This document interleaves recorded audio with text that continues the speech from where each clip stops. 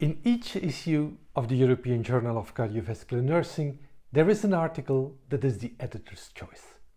This article is freely accessible. The editor's choice in the fourth issue of 2023 is entitled Replace Uncertainty with Information Shared Decision Making and Decision Quality Surrounding Catheter Ablation for Atrial Fibrillation.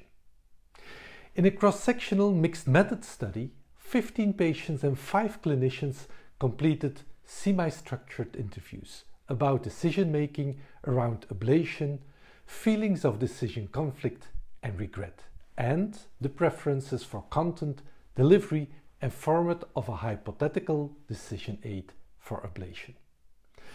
Patients also completed surveys about AF symptoms and aspects of decision quality. For most patients, decisional conflict and regret were low, but they also reported low levels of information and agency in the decision-making process. Most clinicians report routinely providing patients with information and encouraging engagement during consultations.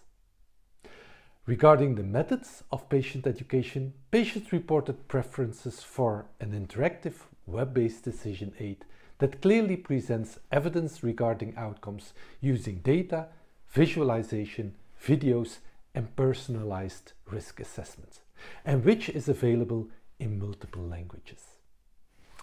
This paper is the editor's choice of the fourth issue of 2023 of the European Journal of Cardiovascular Nursing. It is freely accessible now. Find the link in the description.